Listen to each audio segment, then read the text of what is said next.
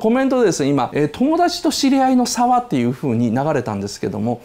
友達と知り合いの差を気にする人は友達が少ない人なんですよ。なんでかっていうと、友達が多い人は知り合いを全部友達に入れちゃうんですね。だちょっとした知り合いも「おあれ知り合いあれ知り合い岡田敏夫知り合いだよ」とか「俺はもう知り合いだよ」ってこれが友達が多いやつなんですよ。友達が少ない人っていうのは「いやあの人はまだ友達とは言えないあの人はまだ知り合いレベル」というふうに選んじゃう人がなので友達と知り合いの差っていうのはいわゆるコップに水が半分入ってたらもうこんだけしか入ってないってこととまだこんだけっていうのとそっくりなんですね。なのでそこの差はあんまり気にしないように。岡田敏夫の YouTube を見てくれてありがとうございます。えー、ぜひぜひチャンネル登録よろしくお願いします。ではではよろしく。